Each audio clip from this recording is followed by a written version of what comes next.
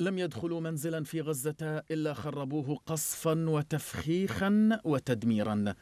هذا واقع المناطق التي انسحب منها الاحتلال في غزة بعد عملياته العسكرية البرية فيها. دمار ضخم حل بالبنية التحتية والمباني السكنية التي لم تعد صالحة للعيش في تعمد للاحتلال لترسيخ معاناة أهالي غزة. وتعزيز مخطط تهجيرهم. تفرج شوف السما بتشوفها من الدار. تفرج شوف السما كيف. تعال شوف دارك كيف انحرقت كلها. هي طلع. خذ لك نظرة هين طلع. تفضل. والله لو بتشوف معي بقى تطلع. هين نايمين خمس تلفون تعال تفرج شوف الأوضة. تعال. تعال شوف المعاناة هين. تعال شوف المعاناة. طلع شوف الدمار. كله انحرق. والله لا ضل لي فرش ولا ضل لي أي حاجة. صابر. كنا نبني حتى نفرح في اولادنا ونشوف ثمرة الإنسان لما بيكبر في العمر عمر 52 سنة. طوبة طوبة بنينا الدار وبدنا نفرح في الأولاد هذه صواريخ الاحتلال أخذت الأولاد وأخذت المنازل وأخذت كل شيء حلو في حياتنا. إحنا الشعب من ال 48 وإحنا في نكبة.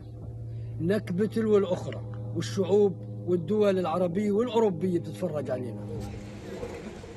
هذه النكبات المتتالية جعلت من الحياة مستحيلة في غزة حيث تنتشر آلاف الخيام التي يحاول سكانها الصمود عبثا وتغرقهم مياه الأمطار والصرف الصحي. لا لقيت لا معنا لا فراش ولا معنا غطا للأطفال ولا ملابس. وغرقوا في مية المجاري مية مجاري هذه. طفت علينا فجأة وإحنا نايمين. ما قدرنا نطلع ولا حاجة.